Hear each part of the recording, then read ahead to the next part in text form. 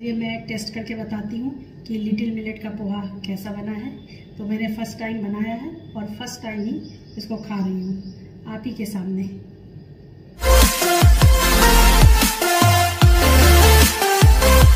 Hey guys welcome back to my new vlog तो अभी kitchen में मेरा कुछ खास काम नहीं हुआ। दूध वगैरह आया था तो दूध पका लिया है। और हमारे यहाँ पाँच छः दिन हो गए, बाई नहीं आ रही है।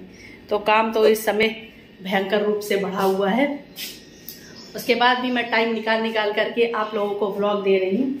और मैंने पनीर निकाला है। मेरी पालक पनीर वाली रेसिपी में देखा ही होगा कि पनीर मैं घर पे कैसे निकालती हूँ। और आज मैं फिर से बना रही हूँ पालक पनीर की सब्ज़ी। मैं जबलपुर में आप लोगों को एक इंटरव्यू भी दिखाया था उनका कि वो मिलेट का ही पूरा बिज़नेस करती हैं और उनकी शॉप है जबलपुर में। तो वहाँ से मैं एक लेकर आई थी। पोहा, ये पोहा है, लिटिल मिलेट का पोहा है मतलब कुटकी का। तो इसको मैं आज बना कर देखती हूँ ये कैसा बनता है। मैं भी फ़र्स्ट टाइम बना रही हूँ। तो चलिए इसको बनाएँगे। आज हो रहा है काम फिर से घर में। पता है ना क्वार्टर में ना बहुत काम है। मुझे तो लग रहा है कि जब तक मैं यहाँ से जाऊँगी नहीं, काम ही काम रहेगा। हमने पहले मेरे वीडियो में देखा था। हाँ? लगा खोलना भी इसको ऐसे करना कैसे? ऊपर ऊपर ऊपर। यही कहीं से फंसा है शायद। सब जुगाड़ू काम है यहाँ।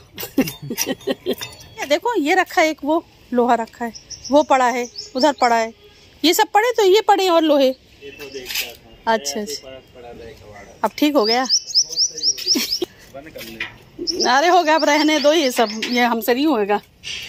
भैया भी कह रहे हैं कि यहाँ पहले ऐसे ही रहता था। हाँ पाई तो अच्छा हो गया। अच्छा मैं ये बता रही थी, जो ये जो एसी रखा हुआ है इसमें, लकड़ी में, बहुत डेंजरस है, कभी भी गिर सकता है, क्योंकि इसकी लकड़ी भी बिल्कुल ख़राब हो चुकी है। तो इस एसी का स्टैंड बनवा रहे हैं, और मैं ऐसी हूँ कि मुझे हर चीज़ ना परफेक्ट चाहिए।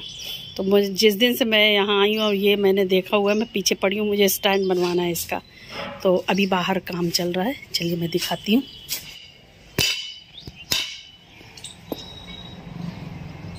ये लिटिल मिलेट या कुटकी का पोहा है। मैं सिर्फ़ अकेले अपने लिए बना रही हूँ।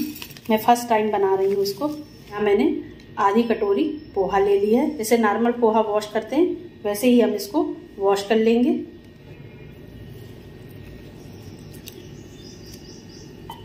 यहाँ मैंने एक छन्नी रख ली है। इसी में डाल देंगे। पानी ऐसे निथार देंगे। इससे पानी निकल जाए।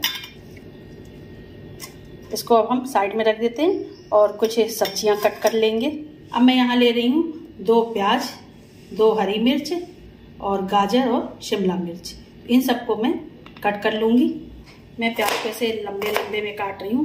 मैं नॉर्मली पोहा में भी ऐसे ही प्याज डालती हूँ। प्याज और हरी मिर्च हमने काट ली है।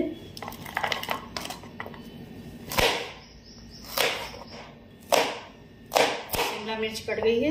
अब गाजर भी इसी तरह काट लेंगे। पोहे के लिए हमने सब्ज़ियाँ काट ली है। मैंने यहाँ गैस के ऊपर कढ़ाई चढ़ा दी है। केवल ऑयल डालेंगे, थोड़ा सा ही डालना है। अब इसको गर्म होने देते हैं। तेल गर्म हो चुका है। अब मैं इसमें डालूँगी मीठी नीम, तिल और राई।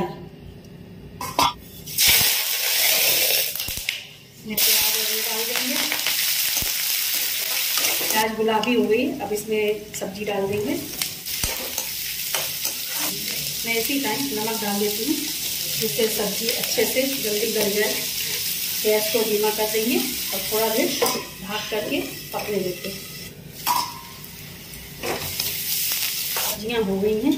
अब इसमें डाल देंगे थोड़ा सा हल्दी थोड़ा सा भुना जीरा पाउडर। ये जो हमने लिटिल मिलेट का पोहा धोया था उसको डाल देते हैं।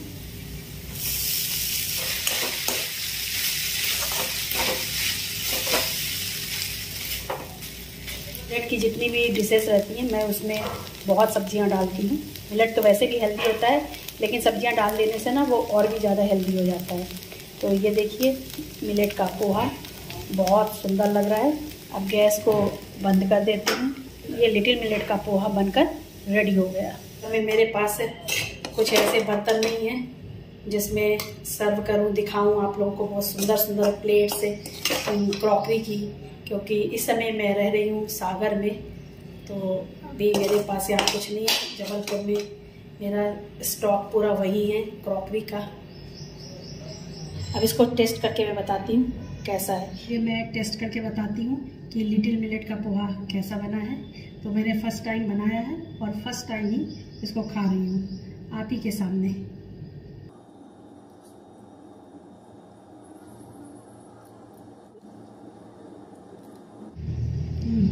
अच्छा लग रहा है। क्या ना फ़र्स्ट बाइट में समझ में नहीं आता ना। पहली बार कोई चीज़ ट्राई करो तो उसका टेस्ट दो तीन बाइट में ही समझ में आता है। मुझे सच में बहुत अच्छा लग रहा है। और हाँ इसमें आप मटर वगैरह भी डाल सकते हैं, जो भी सब्ज़ियाँ आप इसमें ऐड करना चाहें और भी कर सकते हैं। नाइस काम भी हो गया। पीछे पड़ेगा तो हो ही जाता है। मैं बहुत देर से पीछे पड़ी थी, बिल्कुल अच्छा नहीं लग रहा था, ये लकड़ी वकड़ी लगी। ये देखिए, ये ऐसा स्टैंड बन गया है। अब अच्छा लग रहा है। और मैं आपको अंदर भी दिखाती हूँ। जो बोल रहे थे ना, प्लाई काटने को, वो भी कट गई है। ये अब जो पूरा ये वाला एरिया था वो यहाँ से ओपन हो गया है। ये ठंडा अच्छे से होगा। ऐसा बोल रहा था एसी वाला। अब देखते हैं। ते में प्लाई लगी हुई थी। आपने पिछले वीडियो में देखा था।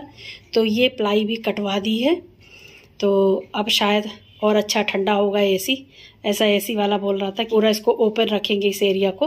तो ज़्यादा ठंडा होता है एसी तो बढ़िया है। चलो, आज काम हो गया है एसी का। अब मैं आपसे मिलती हूँ नेक्स्ट व्लॉग में। कोई घर पे आ जाता ना, काम करने वाले। तो अपने दूसरे काम नहीं हो पाते हैं। तो अब जा रही हूँ काम करने और घर पे काम हुआ है इतनी डस्ट हो गई है इस कमरे में और एक तो ऐसे भी बाइक नहीं आ रही है। आज तो मेरी होने वाली है, कसरत। तो चलिए, मैं मिलती हूँ आपसे नेक्स्ट ब्लॉग में। Okay, bye.